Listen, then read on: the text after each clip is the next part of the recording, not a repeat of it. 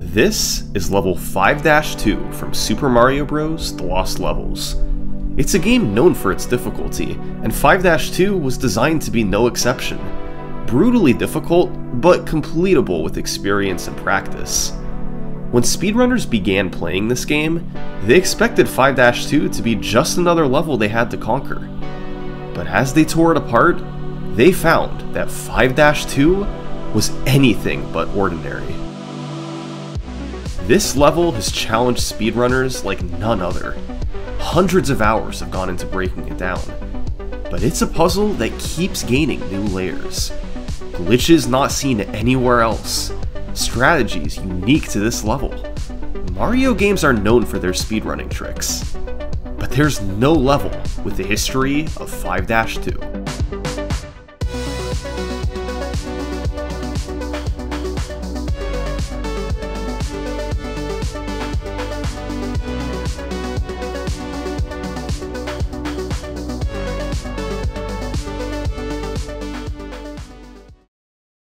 Now, a word from this video sponsor, Rocket Money. Look, I'm subscribed to a number of services streaming platforms, music, cloud storage. It's hard to keep track of it all.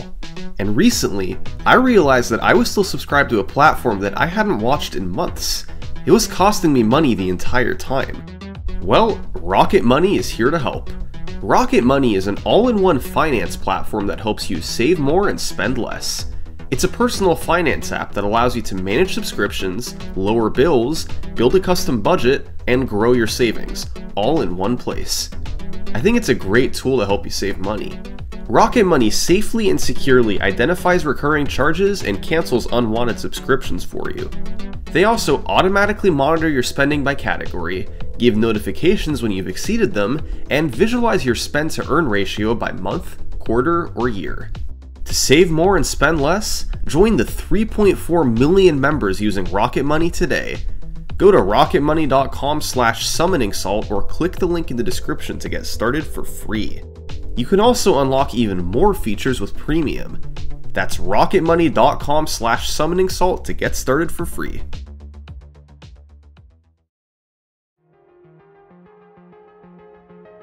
What makes 5-2 so unique? Well, it begins as a straightforward stage. You run forward while dodging Koopas and Piranha Plants.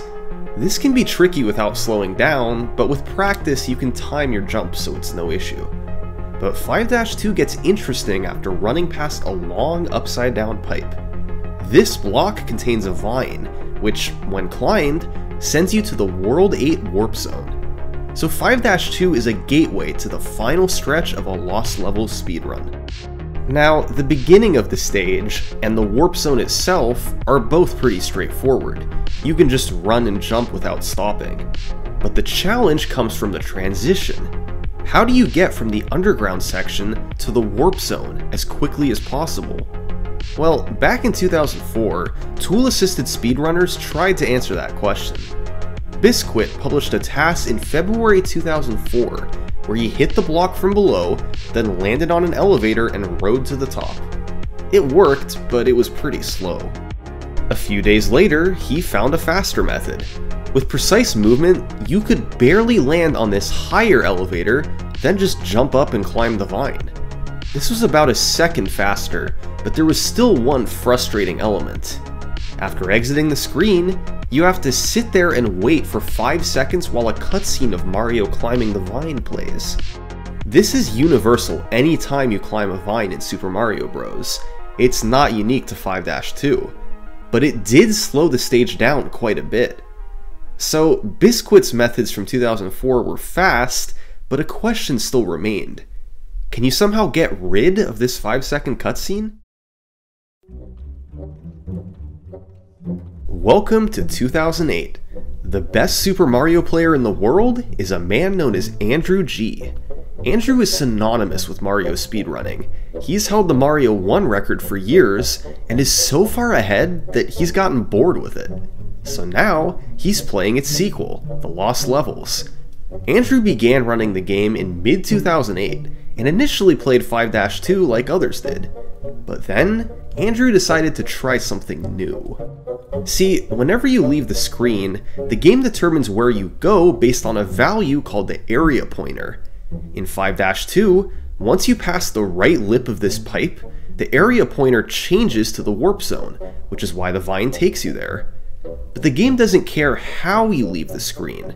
You can either climb a vine or go down a pipe, and you'll be taken to the same place. Except the cutscene only plays when you climb a vine. If you arrive somewhere via a pipe, you simply spawn in without fanfare. So even though you're intended to use the vine, accessing the warp zone with a pipe would save about 5 seconds.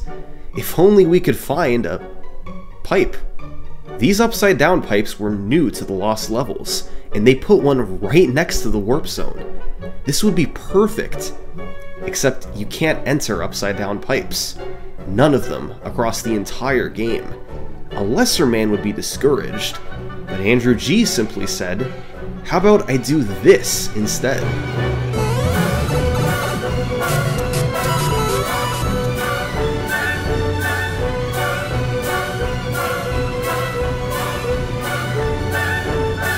This is a normal pipe.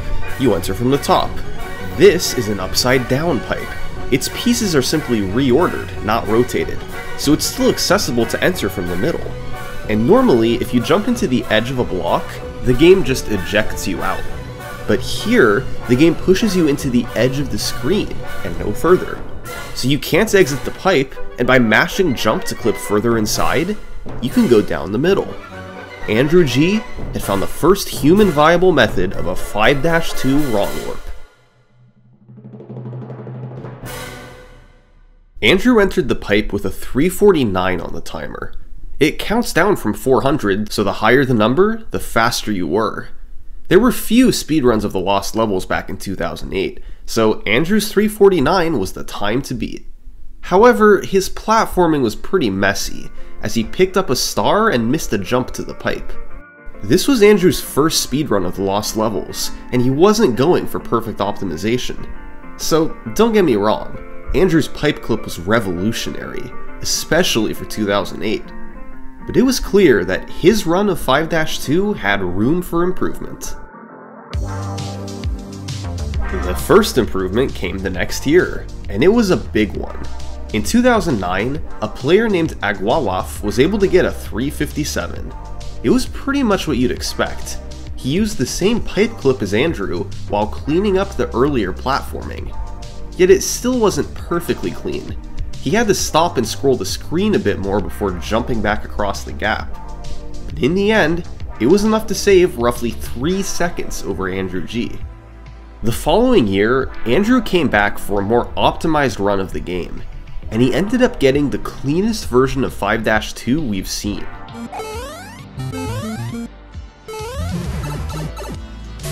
In addition to a smooth ending, he also skipped doing a backwards bump.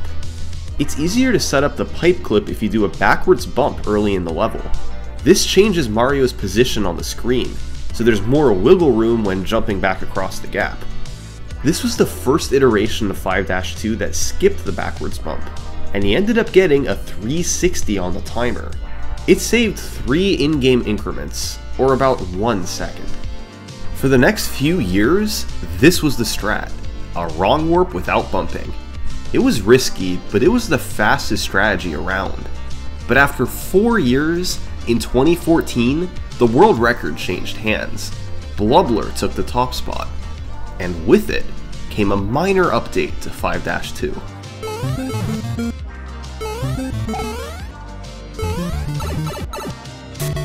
This was a very smart idea to make the strategy more consistent.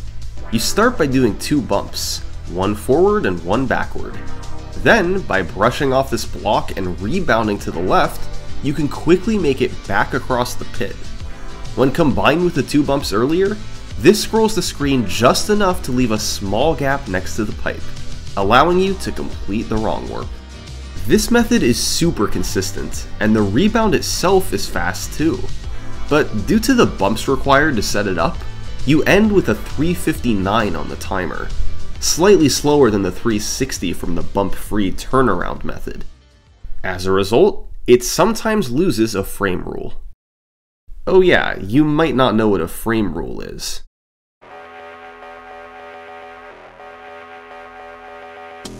Now, I know, a lot of you already know what frame rules are. So, we're gonna shake things up and see if we can set a speedrun explained world record. At the end of each level, the game only checks for completion every 21 frames. Essentially, this means you can only gain or lose time in increments of 0.35 seconds for every level. The best analogy of this was created several years ago by Darbian. It's as if at the end of every level, a bus arrives every 21 frames to take you to the next level, even if you miss the bus by one frame, you'll have to wait 20 frames to catch the next one. But it also means you don't have to play perfectly. You can be close enough to someone who did play perfectly and not lose any time. A frame rule lasts about a third of a second, and an in-game increment lasts about a third of a second too. So generally for each full increment gained, you save one frame rule. There it is, new world record. Bismuth's got nothing on me. Now, that was a lot of information, but the gist of it is that in 5-2, you can only gain or lose time in increments of 21 frames. And generally, if you've saved an in-game second, you've saved a frame rule. Despite being a little slow, the block rebound method was the strat from 2014 into 2015. Its consistency was just too good to pass up. But typically, every time a new record holder took the reins, the 5-2 strategy changed a bit. And in late 2015, someone new got the Lost Levels world record. This runner was none other than Darbian. Yeah, in addition to being the bus metaphor man, Darbian also happened to be the best Super Mario player on the planet from 2015 through 2016. Initially, Darbian did the block rebound method too, even getting a world record with it. But eventually, he was looking for more time to save. So in early 2016, he decided to switch back to Andrew's bumpless turnaround method, and he got really good at it.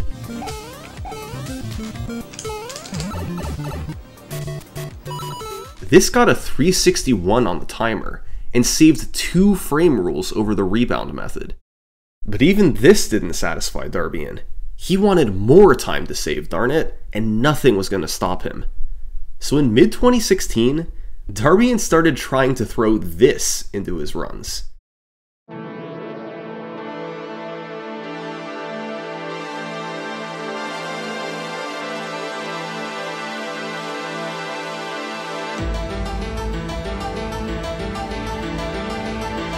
This is a wall jump, and it's one of the hardest mechanics in Super Mario Bros. If Mario runs into a block, he'll usually stand inside of it for one frame before being ejected out. If he's in the top 4 pixels of a block when he collides, and you press jump on the one frame he's inside, Mario will perform a wall jump. That's a frame perfect trick within a 4 pixel window. It's not easy. Wall jumps are used at times in full game speedruns, but typically only when it saves big time or when the alternative is more difficult. Essentially, the risk reward has to be worth it. And in 5-2, the downside is it's a frame perfect trick that kills half your runs. The upside is that it sometimes saves one frame rule. Yeah, as awesome as it looks, the 5-2 wall jump never really caught on. The risk simply wasn't worth it. So, for the rest of 2016, 5-2 remained the same. After all that evolution, after all those modifications, they were back to a variation of Andrew G's 2008 strategy. It was the method that best balanced safety with speed, so it was what stuck with top runners. Speedrunning is funny. Sometimes your original ideas can't be beaten. And other times, you have no idea when something's about to come along and crush it. At AGDQ 2017, Darbian, Andrew G, and Kosmic raced the Lost Levels. In 5-2, they all went for the turnaround strat, same as always. It was a fun race, and everything was standard. But a few days after this run, while the three of them were still at the event, they got a Discord message from somebody named Eden. Eden said that he didn't understand why they were doing such a slow method of 5-2. Well, it was the fastest strategy the three runners knew, other than the wall jump. Eden linked them to a Japanese Mario technique list, a website from 2004, and on that page was something that blew their minds.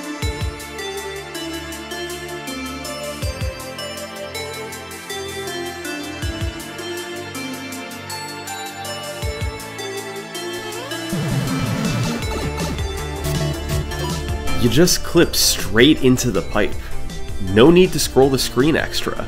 No need to jump back across the gap. Devil's Spell is a mechanic that Japanese ROM hackers found back in the early 2000s. As with the other wall clip method, when you jump into a block, the game tries to eject you out. However, by pressing right while in the air, the game actually pulls you into the pipe, and it's only when you land that it ejects you out. So, by repeatedly jumping to stay in the air and holding right to get pulled in, you can eventually work your way into the middle of the pipe. This trick was right there in the open. It had been on Mana's technique list for nearly 15 years, but speedrunners never found it. Once Eden showed it to them, Kosmic, Andrew G, and Darbian spent the rest of AGDQ 2017 practicing the trick together. Nice.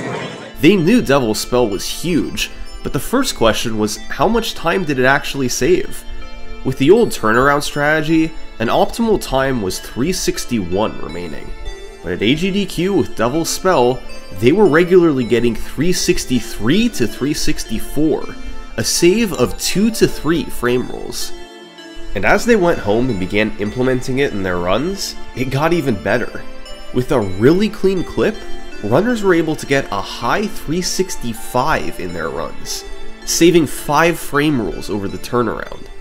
This was huge, the biggest 5-2 time save in nearly a decade. And they had an idea to make it even faster. There are two sides of the pipe, and Devil's Spell is possible on both. The left side would be faster, but in order for it to take you to the warp zone, the screen has to scroll enough. And to get it to keep scrolling, you have to start running once you're in the pipe. It's harder than the right side, and by having to make the screen scroll, it ends up not really saving time. But even right side Devil's Spell was tricky. In fact, it was harder than all previous 5-2 strategies, save for the wall jump. But the beauty of Devil's Spell was it didn't need to be done flawlessly. While a high 365 provided the optimal frame rule, that required perfect timing with your jumps, and immediately getting sucked into the middle. Times of 363 to 364 were more common, but that still saved time over the old strategies. Devil's Spell became an iconic trick in not just 5-2, but Lost Level speedrunning as a whole. It looked so bizarre, and was a highlight of most runs. Darbian first set a world record with it in January 2017, just weeks after its discovery and it would become a staple of the lost levels for years. World record after world record was set, each one containing an example of the Devil's Spell. Some runs struggled with it. Others were unbelievably smooth. Are we fast? But Devil's Spell was always there. As the years passed and runners began to master the trick, they started to look beyond Devil's Spell. The game's best players had gotten much stronger over the years. They could perform tricks that would have been far too risky in 2010. And while Devil's Spell was a difficult trick, even that had started to become trivial. So, was there anything left on the table in 5-2? Well, there was one option. Recall that way back in 2004, Biscuit did a TAS of 5-2 that didn't use the wrong warp. Now remember, tool-assisted speedruns are different from real-time runs. They're able to go frame by frame and re-record, in addition to using other tools, to create a theoretical perfect speedrun. Well, in 2006, thanks to Mr. Swede finding that you can enter upside down pipes, legendary tassers Phil and Genisto discovered the 5-2 wrong warp. And their tool-assisted strategy, way back in 2006, was faster than anything that real-time runners had come up with in the years since. The issue was that it was way too hard. harder than Andrew G's turnaround method, harder than Devil's Spell, even much harder than the wall jump strategy. But now, nearly 15 years later, maybe people had improved enough to try it. This is the 5-2 TAS strategy.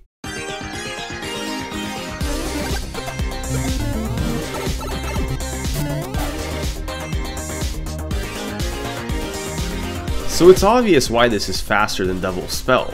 You barely even have to slow down. But it's like the wall is liquid. How do you just run inside of it? Well, if Mario is running at full speed, he can potentially land 3 pixels inside the wall before he's ejected out. But just like Devil's Spell, if you press left when you enter and repeatedly jump, Mario will continue to get sucked in. Once you're fully in the wall, you start running to scroll the screen and can then go down the pipe. Now, several components of this trick were hard, but the real roadblock was just entering the wall. In order to land 3 pixels inside the wall, Mario's sub-pixels need to be correct. That's his positioning at a level more precise than just the pixel he's on. In normal gameplay, this value is essentially random. Nearly every small input you make with the D-pad changes Mario's sub-pixel value. So unless they got very lucky with sub-pixels, real-time runners weren't clipping into the wall. Even though the strategy was found in 2006, it wasn't even considered in speedruns. But by 2018, a year after Devil's Spell was discovered, a bit of progress was made. They were trying to find a consistent setup for the sub-pixel value in order to make it a viable strategy. Top runner Takate was able to perform the trick using a save state shortly before the pipe. Yes! Yes! Yes! Yes! And someone else managed to get it full level using a turbo controller. 420 Blaze It, the same guy who discovered the 4-2 wall clip setup in Mario 1. Over the next couple years, more players got the TAS strategy using a frame-perfect setup, but it was still considered far too risky to go for in runs.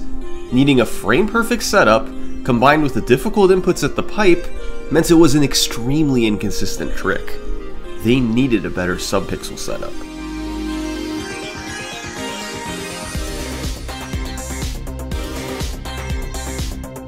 In December 2020, HitsCrits found an amazing setup. By running off a ledge with down and right, and doing a full jump on any of the second through fifth frames after you land, your subpixels will always be set up for the clip. Now, this still didn't make the trick easy, but at least the subpixel setup was nearly trivial. The question did remain, could anybody actually hit this in a run?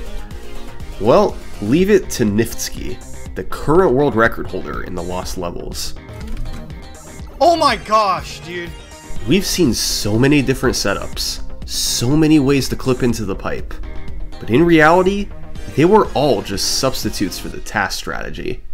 And now, after 14 years, it had finally been done. This is the fastest way to clip into the pipe, and level 5-2 is now fully optimized.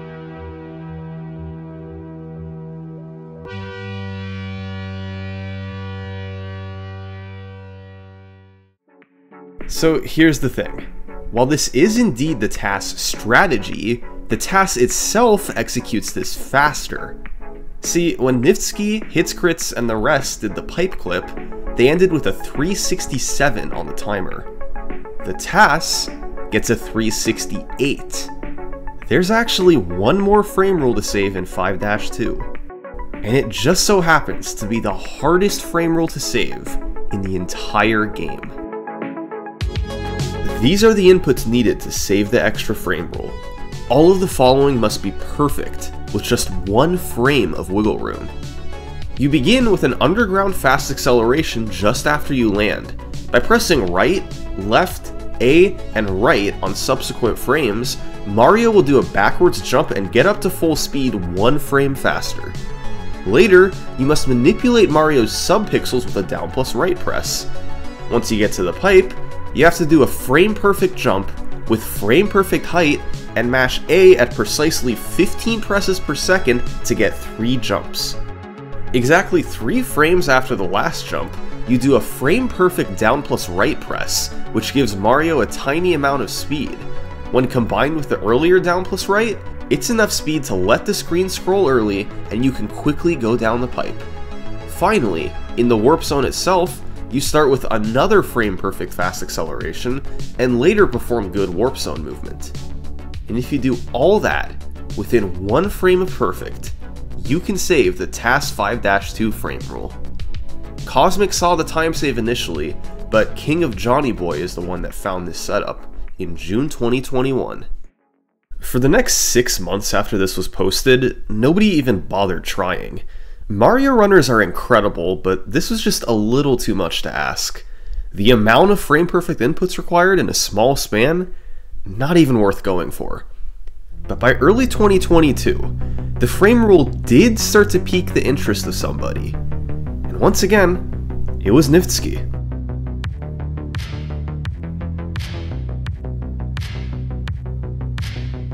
Niftski is the best Super Mario player on the planet.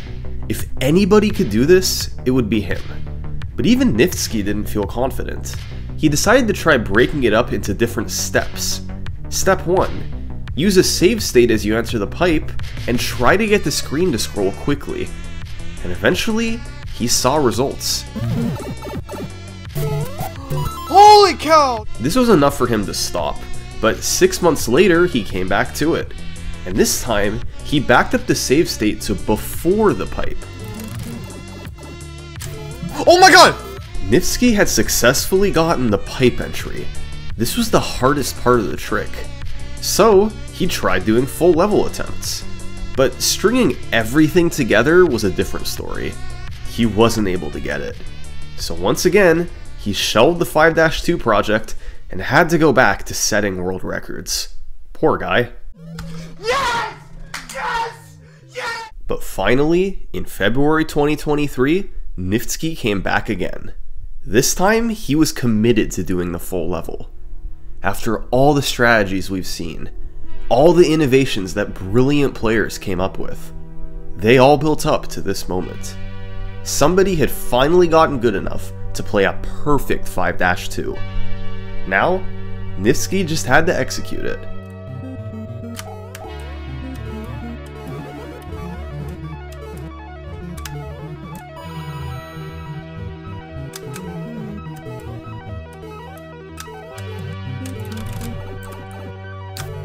Oh my god!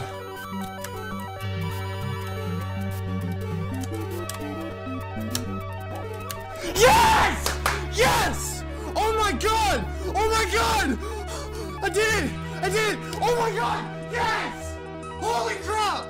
Dude, I literally imagined myself getting into Warp Zone and I did it! And I freaking flipped it first This has been the history of 5-2. Thanks for watching.